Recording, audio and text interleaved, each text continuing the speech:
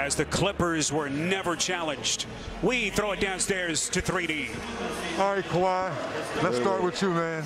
11 of 15 from the field. All four games you've been getting off to a fast start. Talk about your groove and how well you're playing. Um, we're playing great. You know, that's all I, that's all I care about. I want the whole team to play great. Um, you know, one player, one, two players can't, um, you know, win a championship or win a playoff series. So, um, you know, I'm happy that we are playing well now, uh, playing better defense. And speaking of that defense, how big was it for Ty Lue to put Batum in the starting lineup to get y'all's defense off to a fast start tonight?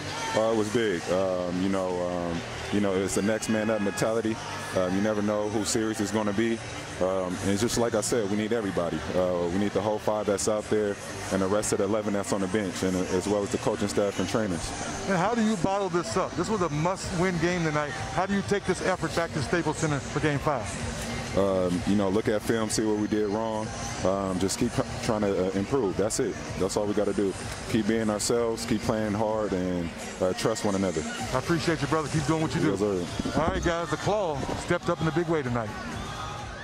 All right, 3D, the stoicism of Kawhi Leonard, 29 points as they have even the series at two games apiece.